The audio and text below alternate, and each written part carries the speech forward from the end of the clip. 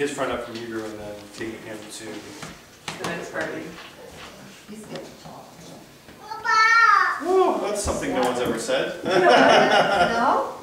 That's Really? what's average. Your laundry, so before you. Oh, yeah. Oh, wow. He's He just doesn't, he doesn't eat his fruits and vegetables, so he's not gonna Yeah. grow as fast. That's I right. can't believe Look at this Lexi, Lexi person, I have it so clearly. Yeah, that, you gotta eat your fruits and My vegetables. rice, don't? I don't know what to expect. They're not looking at, they're not. Do we think it's genetic or what?